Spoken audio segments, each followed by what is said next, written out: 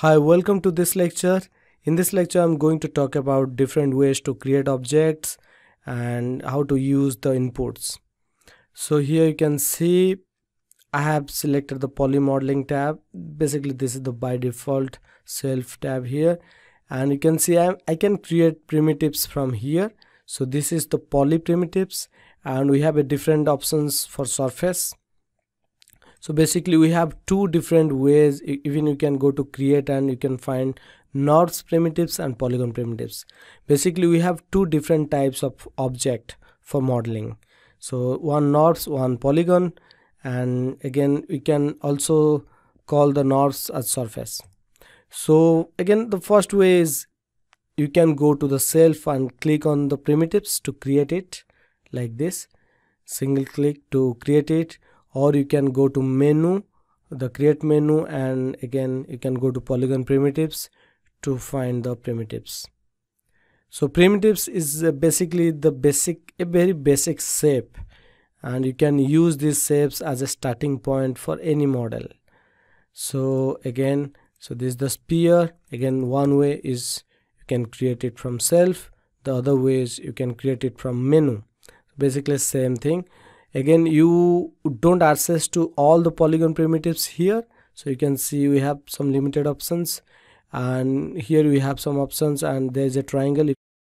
So if you right mouse click and you'll find some other primitives hidden there. And if you don't find some primitives you can go to menu and find the primitives from here. You can see all the list here. So this is one way. Let me delete the models. You can select it. Again i'm using the select tool just drag like this holding your left mouse like this to select and then hit the delete key on your keyboard to delete the model. Okay so now let's see how to create some primitives in a different way. So let me go to the menu and polygon primitives. Now this time you can see there is an option called interactive creation. So if you turn on that it's by default off. If you turn on that option and now you can see that option is turned on. And now let's click on the sphere again. Now you can see it doesn't give you the sphere immediately when you click. And it says drag to create. So now you can see we can create it by dragging the left mouse like this. And we can create with any scale like this. If I create a cube so this is the cube primitive and if I now you can see drag the base on the grid then pull up the height. So again first drag would be the base and release the mouse and again drag uh, to the top to get the height. You can see. So again this is because we have not turned on that option this interactive creation option. It's allowing us to create the primitives interactively.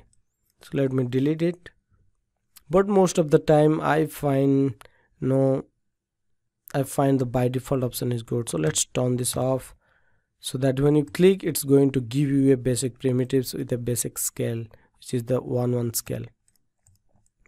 So these are some different ways to create primitives.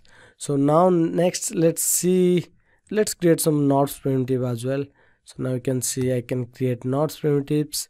So these are basically two different model type. So let me delete it. Let's go to the polygon modeling and let's create a sphere. And let's see how to modify this sphere. So let's select it and when you select it and you turn this channel box option you can see some options here now. You can see this channel box has the translate rotate and scale value. And translate rotate is set to 0 and scale is set to 1 by default. You can translate from here rotate from here scale from here.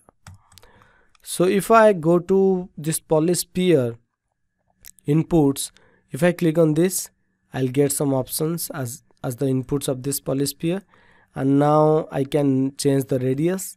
If I click on it and let's say just put 2 and press enter now you can see I can change the scale of the uh, sphere I can put some more divisions. These lines you can see I can put more lines. Let's say 40 you can see more lines. So you can also change these numbers by just selecting the name. Let's say the radius. Just select the name and put the mouse cursor somewhere in this blank area and hold the middle mouse. So hold down the middle mouse key and then drag the mouse to change that value. You can also change the numbers by doing this. So select it and hold the middle mouse and drag you can see I can interactively increase or decrease that particular number that particular options. So if it's a numerical number then you can do this. Let's. So again these inputs are dependent on the primitives type let me delete this and let's bring a cube. And you can see the cube has different inputs it doesn't have a radius. Instead it has width height and depth.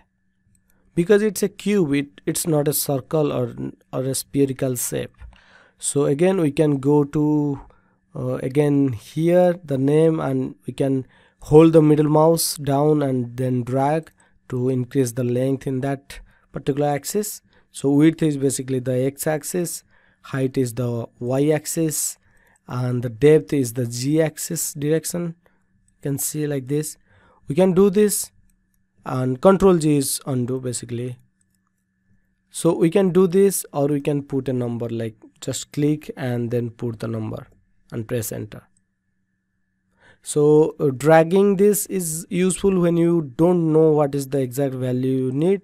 So you can go to the width and middle mouse drag and see interactively what is working basically. So let me go back to one here so we have subdivision width height depth. Again we can increase it manually like this by dragging the middle mouse. And you can see like this. Practice these inputs. And again you are going to see different options for different primitives.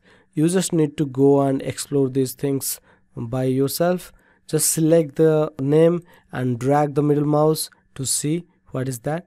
And now you can see the cylinder has the radius and a height so radius defines this you know, this width of the circle and height defines this height this y y direction like this.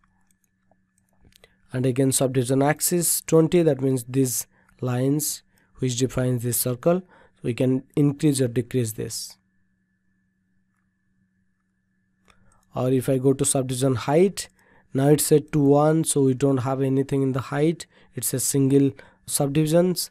If I increase it you can see we are getting more subdivisions in the height area height direction basically.